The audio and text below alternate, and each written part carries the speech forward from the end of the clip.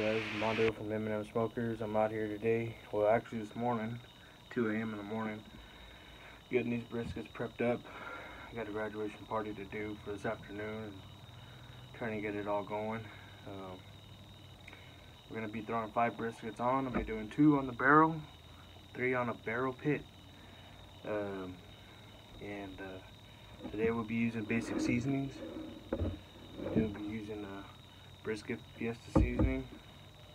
First of all, I started off with some uh, olive oil. Rubbed them all down with olive oil. Kind of brisket seasoning. Coming with my uh, Amelia's seasoning. And um, a little bit of B&B cattle, cattle call. And just rub it down and front and back.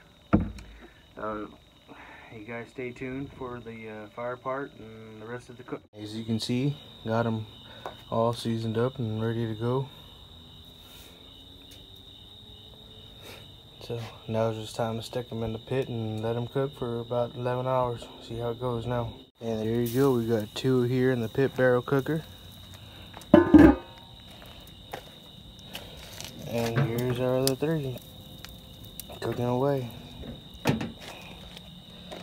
So uh, you guys stay tuned and uh, see what happens.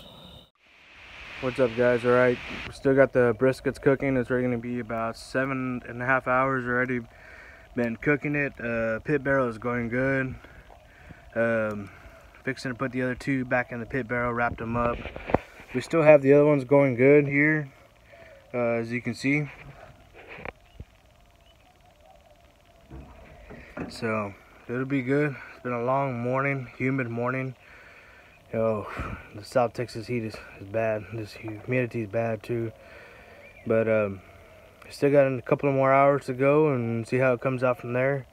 Then I'll be cutting it up and putting it in the roaster. So uh, stay tuned for that.